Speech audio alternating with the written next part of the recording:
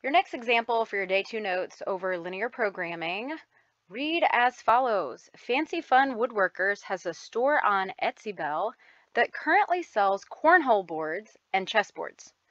Cornhole boards make a profit of $80 each, take 10 hours to make, and require 15 square feet of plywood. Whew, that's a lot of information. Profit of $80, 10 hours to make, require 15 square feet of plywood. Okay, let's move on to chessboards. Chessboards make a profit of $25 each, take five hours to make, and require five square feet of plywood. Okay, that's a lot of information.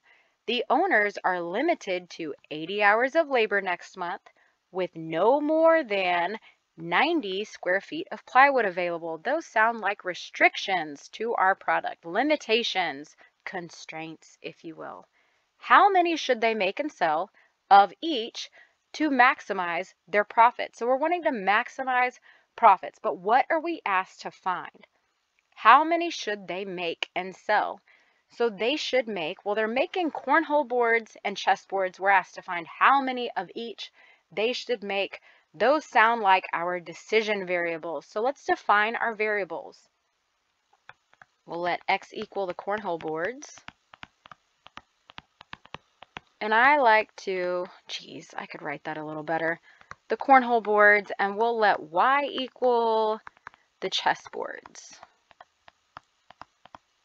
Okay, so how many should they make? Okay, we're asked to find how many of x and how many of y they should make in order to maximize their profits. So that's our objective. We want to maximize profits. So let's write our objective function. Again, I like to write it as an equation where P equals, right, if it were cost and we wanted to minimize it, we'd write C equals, we'd be looking for a minimum value. But a lot of people say, you know what, this is not an equation, it's just an expression. So whatever I put right here is my objective function. But I like to have P equals, okay, the profit, we're looking for profits. Well, what do we know? We know that cornhole boards make a profit of $80 each, and cornhole boards are X. So 80 times X would give me the total profit that I would make on the cornhole boards. And then chessboards make a profit of $25 each. So 25 plus the number of, or times the number of chessboards is going to be the total profit I make on chessboards. When I add those two together, I'll get the total profit. So that is my objective function, okay? Now let's write our constraints. So what are our limitations? What are we restricted to, if you will? Where we are restricted to, let's see, the number of hours of labor. We're restricted by hours and we're restricted by the plywood, right? No more than 12 square feet of plywood. So let's write um, some inequalities based on those restrictions. Let's write our hours constraint, okay? Well, let's see. Um, if chessboards, or no, let's look at cornhole boards. They take 10 hours to make. All right, 10 out, 10 um, hours times the number of cornhole boards. That'll give me the total hours it takes me to make cornhole boards. Plus, chessboards take five hours to make. So plus five times the number of chessboards. And again, we're limited to 80 hours, which means the amount of time that is spent making these cornhole boards and chessboards needs to be less than or equal to 80, right?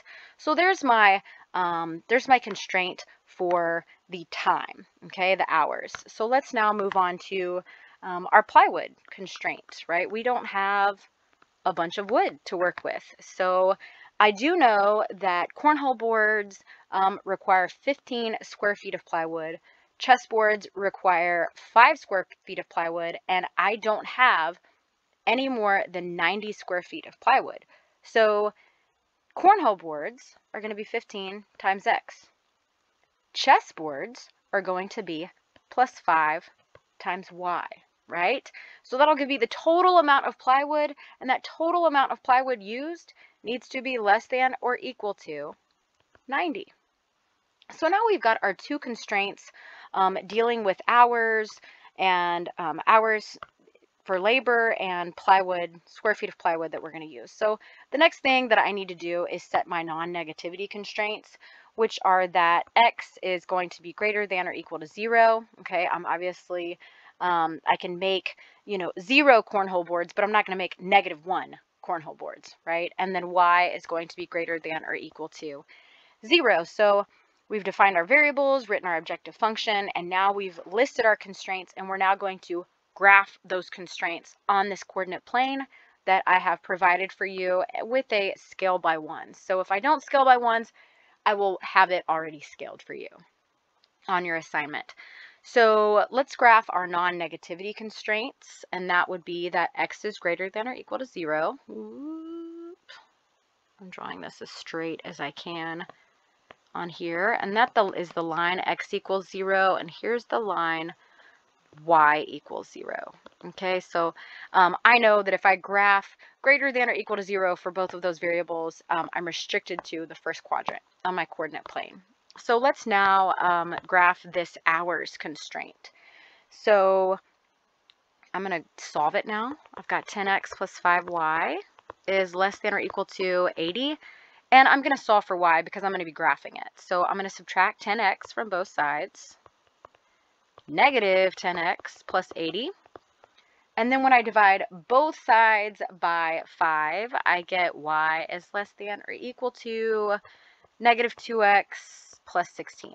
Okay, so here is a linear inequality that I am going to graph. So the first thing I'm going to do is graph um, my y-intercept all the way up to 16. So let's see, that is going to be up to, if I count up to 16, that's this one right here.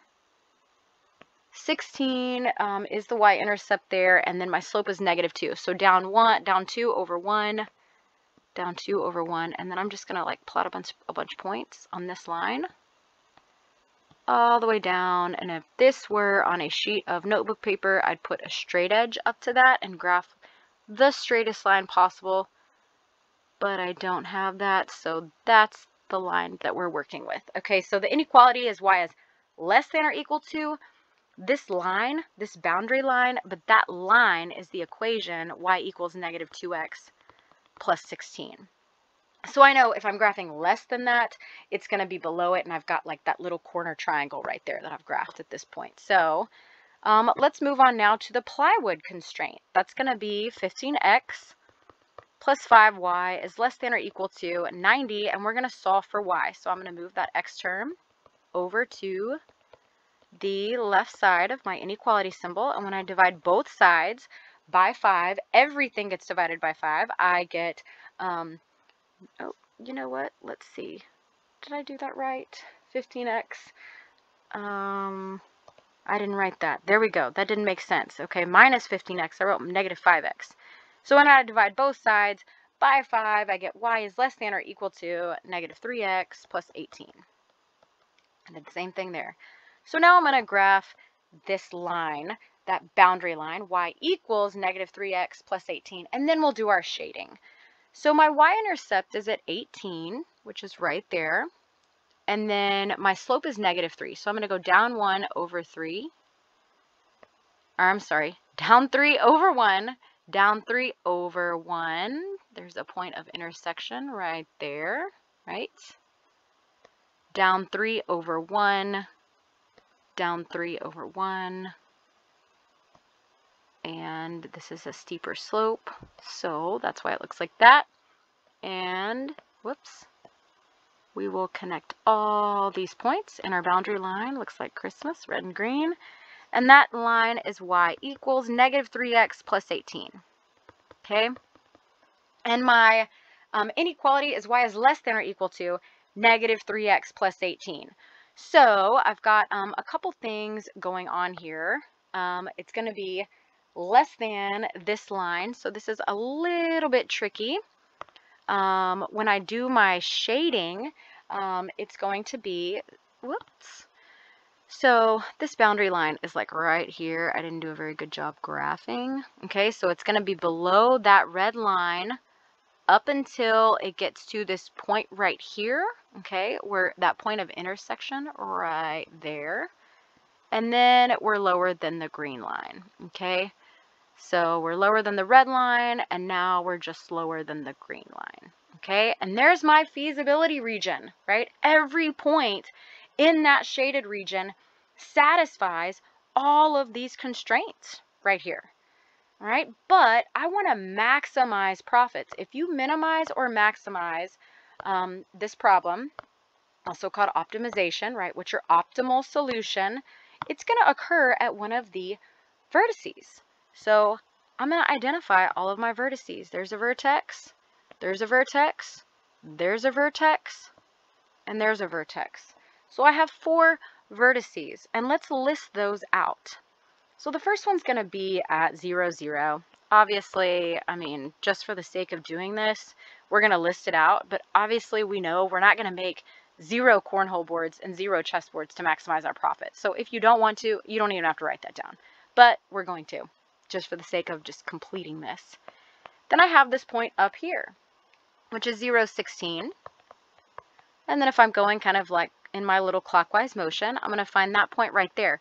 If you were maybe in more upper level math, college math, or pre-calculus, I might have you take this line right here and this line right here and prove that that is the point of intersection. Okay, how could you do that? You know, set up your system of equations and solve for your x and y variables.